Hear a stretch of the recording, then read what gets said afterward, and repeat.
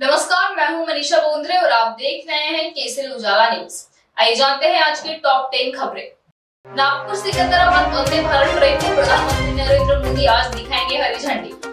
मध्य प्रदेश में बलात्कार के बाद बेटी की हत्या कर हाथ पैर बाँध कुएँ में फेंका कलयुगी बाप गिरफ़्तार रविवार को बांग्लादेश के ओमान चल रही की अंतर्राष्ट्रीय उड़ान में यात्री को पड़ा दिल का दौरा। नागपुर में कराएगी इमरजेंसी लैंडिंग अमरावती में डेंगू मरीजों का ज़मीन मेलघाट में स्वास्थ्य सेवाएँ की स्थिति हुई दयनीय। दिल्ली में फिर जानलेवा हुआ डेंगू 24 घंटे में दो मरीजों की मौत। वंदे भारत मेट्रो के नाम में बदलाव अब नव भारत रैपिड रेल होगा नया नाम प्रयागराज में होटल के अंदर महिला की गला घोटकर हत्या, आरोपी ने पुलिस को खुद दी जानकारी।